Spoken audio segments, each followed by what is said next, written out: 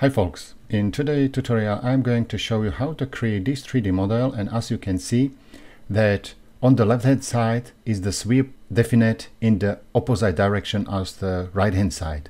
This is the direct question from you so I'd like to create this model and we will start with simple revolve feature of the base shape and then we will use the sweep, helical sweep and at the end some holes and chamfers. Let's see. So we will start from scratch. So new model will be sweep. If you will select Control N, the system will start and allow to you to create new model. And as I mentioned, I will create new revolve feature. And for the revolve feature, we need the sketch plane. In the revolve, we have to define the base shape. So as you can see, I will define the half of the model and we will specify center line. So create the center line as the datum over here directly. And in previous tutorial, we have seen that if you would like to change dimension, now my dimension is 200. So I can quickly select everything and I am able to use the change the scale of the sketch. So I can use the modify and any dimension, what you will see here, you are able to change. If I will select the lock scale and for example I will select double click for this dimension and for example we will specify that size will be only 50 and I will confirm OK. System will automatically zoom the sketch and if you will use this refit the system will zoom it as you need. I have a configuration option that do not refit my sketch automatically but it's up to you. You can change it as you need and now it's simple, you can change your dimension here. And for example I will specify like this. Okay, base shape is ready, we will come from OK. And revolve feature is done, so we can come from OK again. Now we will start to use the feature sweep, helical sweep. Yeah, so if you will use the drop down menu over there is a helical sweep. And select the sketch plane again, but you have to specify that you would like to use the helix profile. So select and define, and now you are able to select sketch plane for the profile. If I will hit the sketch, the system will jump again to the sketch.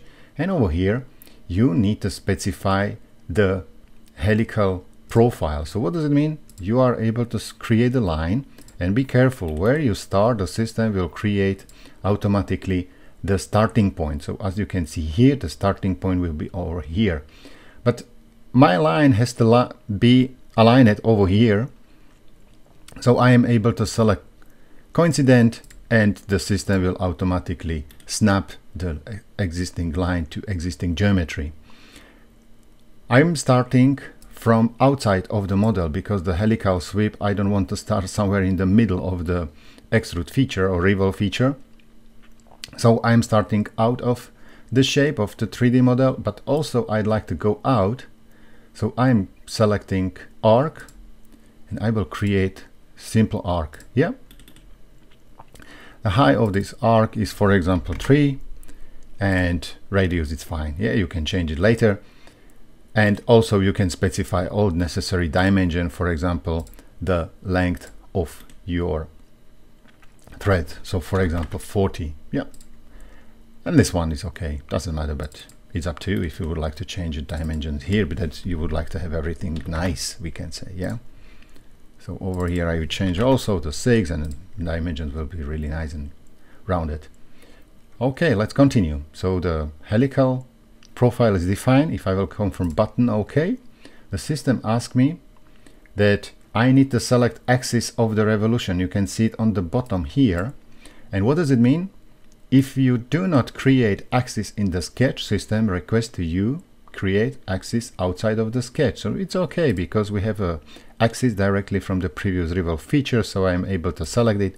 If not, go back to the helix profile and create the axis of revolution over there directly. Everything is defined, but if we miss the sketch of the profile, how it looks like. So over here is the button, select the sketch, system will automatically jump to the starting point where the arrows start in the previous sketch. And over here we need to create the shape. Over here on the, this example it's a triangle shape and dimension is 30 degree. It's really easy so you can create a simple line.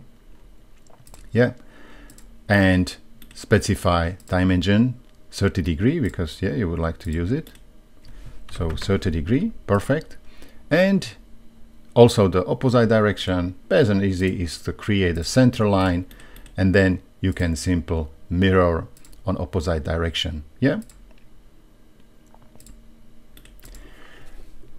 Then you can continue with the dimension so it's up to you which dimension you will create. If you would like to create these dimensions or you will specify the diameters or what you want. So you can create reference dimensions and you will see that if I will change one of these dimensions, for example 1.5, the system will automatically change this reference dimension, automatically calculate.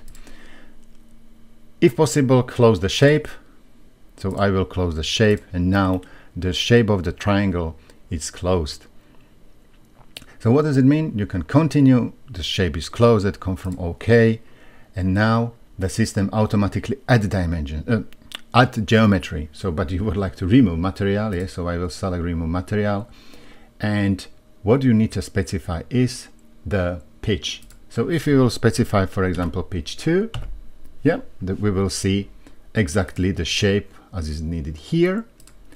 And also, you can specify if you would like to have on this bottom side right handle rule, or you can see, yeah, or left, right and left. So you can choose what you want, what you prefer. And also you can change the profile here. So for example, here we will specify the left handle rule and will be same as the on the source files. Yeah, it's up to you, but it's a symmetrical file, so in this reality, it doesn't care. Doesn't matter. Okay, so let's continue. Specify what you want. Come from OK.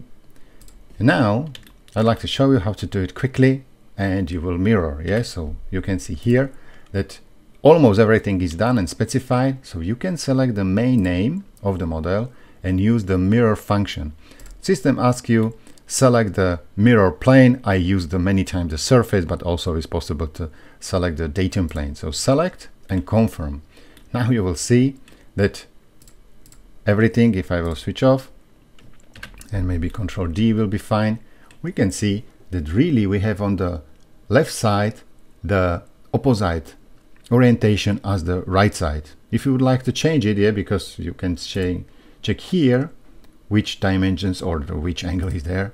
So it's also possible because we are using the parametric modeling. So if, if you will change the definition and you will jump from left to right, yeah, it will be opposite, come from OK. And again, opposite direction is mirrored. It's a fully dependent mirror, so you will see that everything was changed as needed.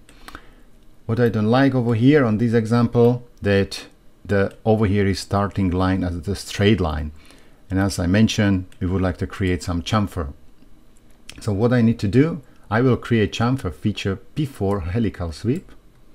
And if we will select and create chamfer here on the edge or between two surfaces, up to you, yeah? If you will select two surfaces, it's the same if you will select one edge. And system will allow to you to specify dimension as value. So for example, 2 is okay. And if I will move on the bottom, the system will really nicely start our helical sweep. You see here that is working really nice. And also on the opposite direction is same. Yeah, so also on the picture, if you will have a look, over there is some starting chamfer at the beginning. And last but not least are the how to create the latest holes. So if I will switch on again my datum planes and control D for default orientation, we miss in the middle two axis. So because on the axis I like to place the holes.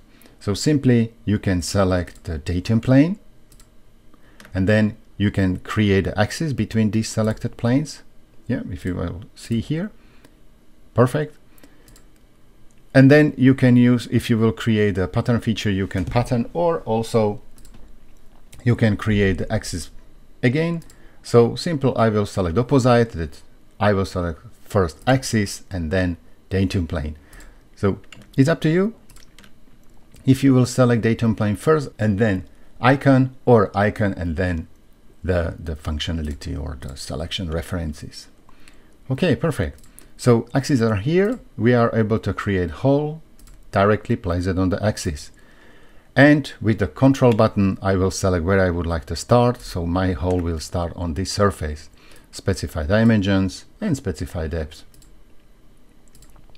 Yeah, through all, everything is fine. Specify dimension, for example, with number, for example, 14. Confirm OK. And simple, you can copy and paste. So over here is functionality copy, Control C. And if you will hit this button, it's a Control V as the paste. Or also you can use the keyboard shortcut. System asks you again about the placement, so axis, control, surface, everything is defined, confirm OK. And last but not least is the changing the color, so you are able to select from the menu and specify, for example, your own preferences and colors and select and confirm with middle button. As you can see here, our model is ready and also looks as needed. What we can do and specify, it's a section. So if I will try to check the shape of the C, yeah. So over there you have seen that on the sketch I see that over there is the profile C and the section. And if you would like to see the section directly here, you can check if it looks same. So perfect we have the same section and in the properties tab you can mention that is the C and enter and confirm OK and C section is defined and also visible. Now your model is ready to create a drawing, create a views and show dimensions when everything is done. If you would like to know how to create views, dimensions and everything, please check the previous tutorials how to create and work with the drawings. I hope so that you like this example and over there you have seen how it's possible to show and hide the necessary information. Yeah, so over there is the latest, latest modification of the preparation of hatching and so on. So, but much more you will see again on my YouTube channel and thanks again for your questions, how to model this 3D model. Thank you and bye-bye. Vladimir.